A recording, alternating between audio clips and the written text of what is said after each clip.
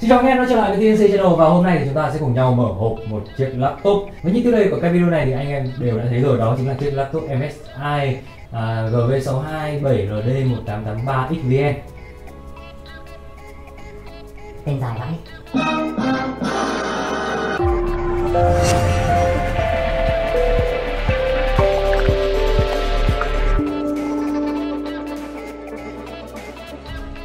Vâng, và đây là chiếc hộp của em nó, một chiếc hộp khá là xấu xí so với một chiếc laptop cao cấp như vậy. Đó là theo đánh giá của mình. À không, bên trong nó có một cái hộp đẹp hơn rất nhiều. Thật ra đây, chiếc hộp rất ấn tượng với logo à, rồng đỏ huyền thoại của MSI. Chúng ta có gaming notebook, tức là đây là một chiếc laptop mỏng và nhẹ như notebook và có khả năng gaming rất là tuyệt vời. Nó sẽ sử dụng con à, uh, GPU đó là NVIDIA GTX 1050 chúng ta có khá nhiều công nghệ đây. Những công nghệ chi tiết này thì anh em khi nào mua laptop thì có thể à, ngồi nhà đọc kỹ sau. Còn bây giờ thì mình thấy nhiều quá nên là chúng ta sẽ giới thiệu từ từ trong video này. Và bên trong đó chúng ta sẽ có gì? Đây là chiếc laptop của chúng ta. Ơ đâu rồi? À đây đây đây đây. Vâng đây là chiếc laptop chúng ta. Mình sẽ để vào bên. Ngoài ra thì anh em sẽ được tặng khá nhiều thứ. Ví dụ như là hai cái miếng xốp để kê chân lúc mà chúng ta sử dụng máy tính này.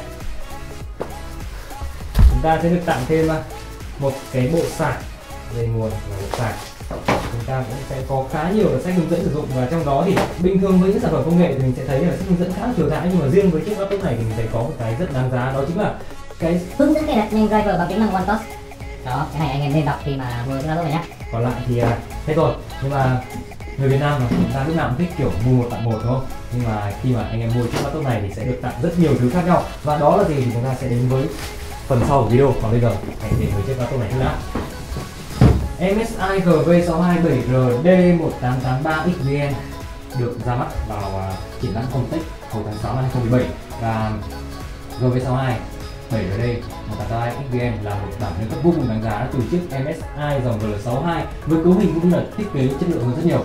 Đầu tiên là hãy nói về thiết kế của nó đi. Đây, các bạn có thể nhìn thấy thiết kế tổng thể của chiếc laptop MSI GV62 này nó khá là gọn nhẹ đúng không? Với cái vỏ máy nó màu à, sáng xám cho không phải màu đen nhé nó sẽ hơi xám một chút chứ không phải đen tuyền. Và cái mặt này thì được hoàn thiện dưới dạng là nhung phay xước nhưng mà giả thôi nhá. Nó vẫn là bề mặt nhựa nhưng mà rất là mịn mình sờ lên cảm giác rất là sướng. Đấy. Có điểm khác biệt ở chiếc notebook này đó chính là cái mặt lưng của nó. Mặc dù là một chiếc gaming nhưng mà nó không quá hầm hố như những chiếc laptop gaming khác. Chúng ta sẽ có một cái bề mặt nhẵn mịn, chúng ta có hình con à, rồng trắng không phải dòng trắng mắt xanh kia dòng trắng mắt đỏ, dòng trắng mắt xanh má quá. Bật cái màn hình lên thì chúng ta sẽ có một cái bộ bàn tính cực kỳ ấn tượng. Và cái tông màu này thì rất là đặc trưng của MSI luôn. Chúng ta sẽ có những phím bấm với cái um, mặt trên màu đen. Nhưng mà những cái đường viền của phím sẽ màu đỏ, khi nhìn thẳng như này, anh em sẽ thấy một cái bàn phím màu đen rất là đẹp, đúng không? Nhưng mà nghiêng một chút sẽ thấy những cái à, đường viền màu đỏ nổi bật lên. Và đèn nền của nó cũng là màu đỏ. Không hề có mặt chút nào, rất là dịu tiếp theo đó là cái phần bề mặt bàn phím này nó không phải là tông màu à, đen như là phần vỏ nữa mà nó sẽ là sáng bằng súng. Một cái màu này thì mình cực kỳ thích luôn kiểu nó vừa sang vừa kiểu mạnh mẽ mà nó không bị à, bẩn như là những cái màu sáng. Nó là màu sáng bằng súng cũng kiểu phay sức rất là đẹp. Có điểm mình thích nữa chính là lúc này đó là toàn bộ thiết kế của nó được hoàn thiện bằng nhựa cứng chứ không phải là bằng nhôm. Thật ra thì đây là một điểm trừ nhưng mà mình lại thích bằng nhựa hơn bởi vì sao? Bởi vì mình sẽ không bị tê khi mà các bạn vừa cắm sạc để sử dụng ngoài ra thì chúng ta sẽ có một cái cấu nó mềm dẻo hơn và nó có thể uh, nhẹ hơn. Tóm lại về cái thiết kế này của MSI GV627RD 183 XGN thì mình thấy đây là một thiết kế rất cơ bản và nó thực sự là đa dụng cho nhiều nhu cầu khác nhau của anh em dù là để học tập làm việc hay là chơi game. Và dĩ nhiên đã làm chiếc game laptop thì à, uh, MSI cũng không bỏ quên việc trang bị đầy đủ cho anh nó những cổng kết nối thông dụng nhất. Bây giờ chúng ta sẽ nhìn xung quanh xem đầu tiên, ở cạnh bên phải sẽ có cổng sạc. Chúng ta có khe cắm thẻ SD chúng ta có một cổng USB Type A, màu đen này có lẽ là 2.0 rồi? Chúng ta sẽ có cổng Type A 3.0 bên này cổng bằng LAN cổng khóa HDMI à có cả mini DisplayPort nữa, một cổng 3.0 nữa. Hai cổng USB 3.0 này được đặt cách nhau một khoảng như này và mình rất đánh giá cao cái à, cách sắp xếp này. Bởi vì sao? Mình sở hữu những cái USB hay là những cái ổ cứng nó khá là lớn. Khi mà cắm vào thì à, chúng sẽ không bị cấn vào nhau do quá gần nữa. Ngoài ra, các bạn cũng sẽ có một cái cổng USB Type-C cái cổng này có thể là để sạc cho những thiết bị khác ví dụ như là điện thoại di động sử dụng à, uh, USB Type-C hoặc là các bạn có thể cắm những cái ổ cứng di động loại mới sử dụng cổng à, uh, Type-C vào đây. Ngoài ra thì một điểm nữa mình rất thích đó là hai cái cổng âm thanh của nó một bên là mic một bên là tai nghe. 3.5 mm được mạ vàng đảm bảo cái khả năng kết nối rất tốt. Đó là về khả năng kết nối. Bây giờ chúng ta sẽ quay lại với cái màn hình.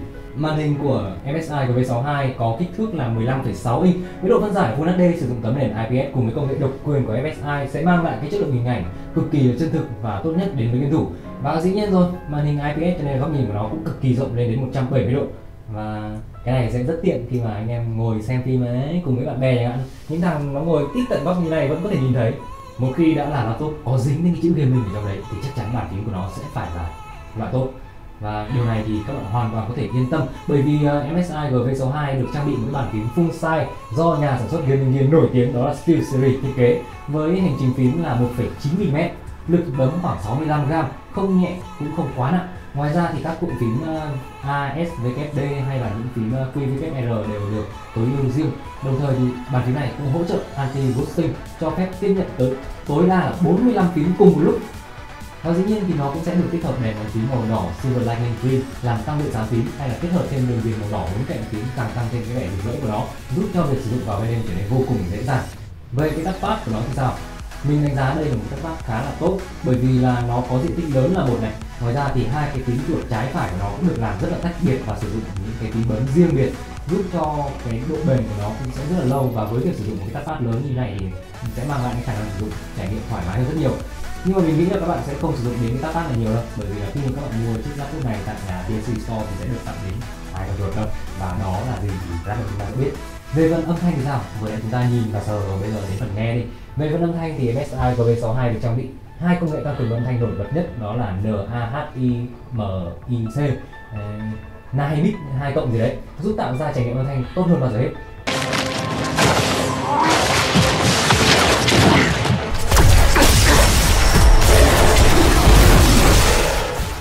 Và cùng với đó thì đó là một hệ thống 4 loa với công suất là 2W ở phía dưới, giúp mang lại những cái âm lượng lớn cũng như là những trải nghiệm âm thanh vòng tốt hơn. 4 loa hay là 8 loa thì loa laptop vẫn chỉ là loa laptop và với việc chơi game thì chúng ta vẫn nên sử dụng những cái chiếc tai nghe chuyên biệt. Và tai nghe thì chúng ta đã có sẵn hai cổng 3.5 ở đây, rất là tiện dụng, đúng không? Và một điều nữa mà bất cứ ai sử dụng laptop đều quan tâm đó chính là khả năng trụ lạnh của viên pin của nó. Chiếc GV62 này thì không được trang bị pin rời, pin được gắn chết trong này luôn nhưng các bạn có thể hoàn toàn yên tâm bởi vì đây là pin 6 cell với công suất là 41 Wh có thể thoải mái sử dụng trong à, 4 tiếng, hoặc là nhiều hơn, với những nhu cầu như là gõ văn bản hay là lướt web hay là thông tin bình thường. Nhưng còn nếu mà chơi game chắc chắn là cái pin sẽ không tuyệt vời như thế rồi. Đó là điều chúng ta dĩ nhiên phải đánh đổi với một chiếc laptop mỏng nhẹ như này. Nhưng mà yên tâm, cái cục adapter sạc nó mình thấy cũng khá là gọn nhẹ, cho nên cũng sẽ không có quá nhiều cái trở ngại khi mà chúng ta sử dụng để à, chơi game ở những cái à, nơi khác nhau. Bây giờ đi đâu chẳng điện, đúng không? Chúng ta không núi Vậy thì về cấu hình của chiếc laptop này thì sao? Phiên bản mà mình giới thiệu với các bạn ở đây đó là 1883 XPN thì sẽ sử dụng con chip Kabilex Lake Intel Core i5 7300HQ xung nhịp 2.8 GHz 6 cache và chúng ta có thể up lên 3.5 GHz. Chipset là Intel HM175, à, RAM thì là 8GB DDR4. Các lô gọi của nó là GTX 1050 4GB GDR5 và ổ cứng tích hợp sẵn trong phiên bản này đó là một TB HDD 7200 RPM nhìn chung thì với cấu hình này thì uh, gần như không có gì phải phản án rồi trừ việc là nó không được tích hợp sẵn SSD thôi. Nhưng mà việc uh, chúng ta có thể dễ dàng nâng cấp qua cổng M2 được tích hợp sẵn sẽ là một điều rất là sáng giá dĩ nhiên là Core i5 7300HQ sẽ không thể nào bằng phiên bản cao cấp hơn của chiếc laptop này sử dụng Core i7 rồi nhưng mà với mình thì Core i5 cũng đã là đủ để thỏa mãn rất nhiều những nhu cầu cũng như là những tựa game mà mình muốn chơi trên chiếc laptop này rồi. Ví dụ như là PUBG hay là Assassin's Creed Origin mà lát nữa chúng ta sẽ test thử hai tựa game đó làm sao. Còn ngoài ra thì nếu các bạn chưa hài lòng với cái cấu hình này và muốn nó nhanh hơn nữa thì có thể uh, lựa chọn lắp thêm SSD với cổng M2 chuẩn bóng thông mới nhất PCIe Gen 3 X4 với việc um, tối ưu hóa phần cứng một phần mềm thì ổ lưu trữ SSD M2 chuẩn PCIe Gen 3 X4 sẽ cho tốc độ đọc dữ liệu lên đến 2200 Mbps trên giây, nhanh hơn gấp 5 lần so với chuẩn SSD chuẩn SATA 3 và nếu các bạn không thích lắp SSD thì có thể ờ, lắp hẳn cái Intel Optane như hôm trước mình giới thiệu ấy. Thì cái dung lượng lưu trữ các bạn sẽ lớn hơn, tốc độ đọc cũng lớn không kém và là một cái nâng cấp cực kỳ chất lượng, đúng không? Đó, về cấu hình hay là về thiết kế ngoại hình thì chúng ta nói rồi. Và đã đến lúc để nói đến những cái độc quyền chỉ MSI mới có với những bạn fan hâm mộ của MSI thì chắc chắn là không lạ lẫn gì với cái công nghệ là MSI Shift độc quyền, có thể đẩy hiệu suất hệ thống lên đến tối đa, đồng thời giảm thiểu tiếng ồn và nhiệt độ. Bạn có thể chuyển đổi giữa các ờ, cấu hình khác nhau hoặc để hệ thống của bạn đến tối đa để đạt hiệu suất mạnh nhất, hoặc là chọn chế độ tối ưu để có được ờ, tuổi thọ pin dài hơn. Chúng ta có thể ờ, dễ dàng kích hoạt những chế độ này bằng phím nóng Fn và F7 trên bàn phím này. Hoặc là các bạn có thể bấm vào cái nút đặc biệt ở đây để kích hoạt cái hệ thống Cooler Boost 4 độc quyền của FSI để tạo ra một cái khả năng tản nhiệt. Có thể nói là cực kỳ khủng khiếp và mình cực kỳ thích cái nút này luôn. Đây các bạn nghe nhé mình bấm vào phát này sẽ nghe rõ luôn cái âm thanh của chiếc quạt tản nhiệt để tạo ra. Ui, phê mà anh như kiểu là máy sấy tóc ấy. Bây giờ anh em nào gội đầu xong mà không máy sấy tóc bắt đầu bật laptop lên xong bật quạt tản nhiệt lên. À, wow. Uh. đây là mình chưa chạy game gió rất là mát nhưng lát nữa chạy game lên thì chắc đúng là máy sấy tóc luôn. Cực kỳ mạnh đảm bảo là laptop của các bạn lúc nào cũng mát mẻ luôn. Và bây giờ thì à, đã đến lúc để chúng ta cùng nhau trải nghiệm thử game rồi. Đây ví dụ như là với tựa game PUBG thì hiện tại mình đang để cài đặt ở mức cấu hình là cao. Đó các bạn có thể thấy ở đây. Thì mức khung hình mà mình nhận được từ chiếc laptop này là khá ổn. Nó dao động từ khoảng 50 cho đến tận 70 thậm chí có lúc là lên vượt quá 70 fps cơ. Và với cái mức khung hình như này ở cấu hình cao thì có thể nói là rất ok đấy chứ. Với cái mức uh, FPS như vừa nãy chúng ta cùng test thì quả thực là những cái game ví dụ như lên ờ, điện thoại hay là Dota 2 mình lên laptop này thì thoải mái đúng không? Và đây có thể nói là một cái lựa chọn hoàn hảo cho các bạn à, có những cái nhu cầu cơ bản như chơi game đơn giản hay là muốn chơi những cái thể loại game phổ thông hiện nay. Nhưng mà dĩ nhiên là không thể nào hát coi của những anh em ờ, PC Master Race mà kiểu 240 FPS hay là 4K không nhưng mà với những cái trải nghiệm vừa rồi thì mình cảm thấy nó hoàn toàn hài lòng với một chiếc laptop để chơi game và với cái độ mỏng nhẹ của nó. Vậy thì mức giá của nó sẽ là bao nhiêu? Chiếc laptop MSI GV62 7RD1883 XDN này được đánh giá là có thể nói là vô đối trong tầm giá 22 triệu với phân khúc laptop tầm trung. Và giá chính xác cho em nó tại TNC Store sẽ là 21 triệu 150 ngàn đồng một mức giá cực kỳ hời. Bởi vì à, như đầu video mình đã nói anh em đều thích mua một tặng một nhưng mà khi mua chiếc laptop này sẽ được tặng rất nhiều. Đầu tiên đó là một phần quà đến từ TNC Store đó là một bộ Rockcard Power Pack. Bên trong này chúng ta sẽ có một con chuột một tấm pack chuột và một à, đôi đốc tác kiểu quân đội Mỹ đeo rất là ngầu ngoài ra thì chúng ta còn có thêm quà từ nhà sản xuất MSI nữa. Đây là mừng giáng à quên đây là mừng năm mới. Có cả mừng giáng sinh cả mừng năm mới luôn. Đấy đây là quà mừng năm mới và bên trong hộp quà này chúng ta cũng có khá nhiều thứ thú vị nữa. Ví dụ như là một cái bát chuột này. Đấy như vậy chúng ta có hai cái bát chuột nha. Chúng ta có một bộ sticker rồng rất là dễ thương này. Ui chúng ta có cả một bộ rồng nữa này. Đấy cái này uh, xếp hình xếp hình đây. Mình xếp lại một con như thế này. Chúng ta còn có nữa cơ nhiều vãi đây một con uh, chuột chơi game đến từ MSI và một con rồng nhỏ hơn nữa để các bạn có thể à, treo ở móc chìa khóa hay là để trên bàn làm việc bàn học. Rất là dễ thương. Đó là tất cả những quà tặng chúng ta sẽ được khi mà mua một chiếc laptop này tại uh, Store. Vâng và đó là tất cả những gì mình muốn chia sẻ với các bạn. Một cách nhanh nhất và ngắn gọn nhất về chiếc laptop MSI GV627RD 1883 XVE một cái tên khá là dài nhưng mà cũng là một sản phẩm à, khá tuyệt vời chứ anh em nghĩ sao về chiếc laptop này, hãy chia sẻ một cách bình luận vào bên dưới video này nhé còn nếu như mà có quá nhiều tâm sự và muốn à, chia sẻ trực tiếp hơn, tương tác nhiều hơn với à, đội ngũ TNC thì có thể lên Facebook và tham gia vào group PC Master Race Việt Nam. Đó, anh em có thể vào đó để cùng nhau tâm sự nhiều hơn nữa về à, chủ đề PC còn bây giờ thì xin chào và hẹn gặp lại các bạn trong những video tiếp theo.